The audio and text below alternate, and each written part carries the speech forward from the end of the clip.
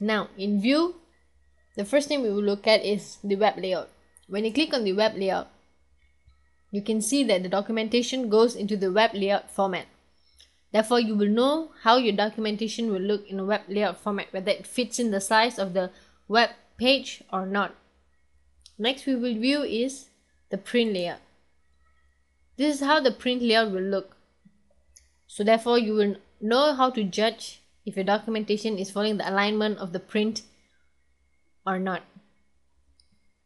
The next thing we will look at is the toolbars. So you can see Celframe Write gives you a variety of toolbars that you can put for your documentation and which can help you during your documentation process by enhancing your documentation. It allows you to put 3D settings or you can draw, you can put bullets and numberings, you can do form control or form design, form navigation, you can do formatting, you can put picture, you can even put tables, text object, hyperlink, formula, or you can even customize. For example, if you want to do a drawing for your documentation, just click on the drawing and as you can see, your drawing toolbar will immediately appear be below your Celframe Write. So all you have to do is choose the kind of drawing that you want to put for your documentation, whether you want to put flowcharts or symbols, choose whichever that suits your documentation.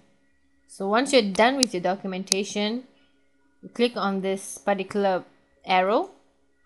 You can choose to either customize the toolbar or choose visibility buttons or lock the toolbar position or even close the toolbar. So if you wish to close the toolbar, just click on close and you can see that the toolbar disappears. The next thing we will look at is customize. In customize, there's so many different tabs or so many different types of customization that you can do. First is the menus. You can choose the type of menus that you want to put for your Celframe. Right, For instance, whether you want to put file, send to, express, edit, whichever that you feel is convenient for you and it's easier for you, you can choose on it. So once you choose on it, just leave it. You can choose the content for your menus, the entries that you want to put for your menus. So many different options. You can choose which type of file format that you want to save your menus in you can even add click on add you can choose kind of add commands that you want to add into your menu content so once you choose whichever you want you just click on add add and it'll be added into your menu entries the same thing goes here. You can click on new and then choose whichever menu that you want to put in. Once you've done that click ok. Or you can choose from menu move your menu position to whichever you want to and click ok. You can even modify. Click on modify and you can see that you can add some menus begin a group or rename or delete them. You can choose whichever you want. The next thing is keyboard.